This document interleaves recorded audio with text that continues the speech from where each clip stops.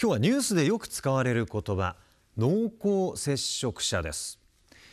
よく聞くこの濃厚接触者ですが定義を教えてくださいという質問なんですね。なるほど、そうですね。よく耳にはするんですけれども、はい、いざ何かと説明しろと言われるとなかなか難しいですね。そうですね。うん、回答は県環境保健センターの調べ所長です。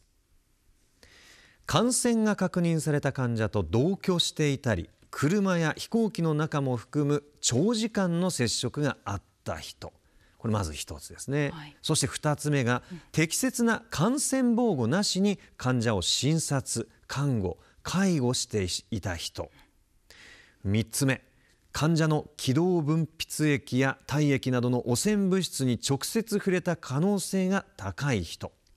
四つ目はその他手で触れることや対面で会話することが可能な距離目安としてこれ2メートルです、はい、えー、この2メートル以内で感染予防策なしで患者と接触があった人、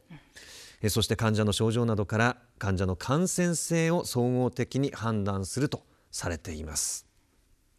こうした感染が確認された患者の濃厚接触者は原則 PCR 検査を行うことになりますさあこのコーナーでは皆さんからの質問を募集しています。メール、ファックス、そして T1S テレビ山口のフェイスブックページからお寄せください。